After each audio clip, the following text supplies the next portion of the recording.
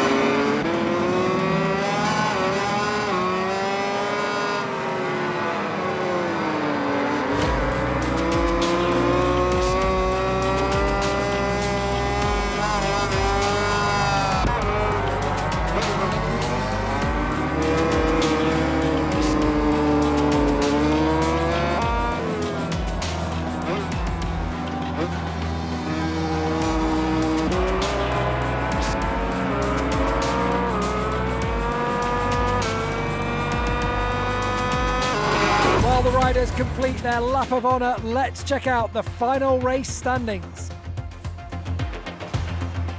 This rider has been able to impose a frantic pace on today's race, and now he and his mechanics are rightly going to party.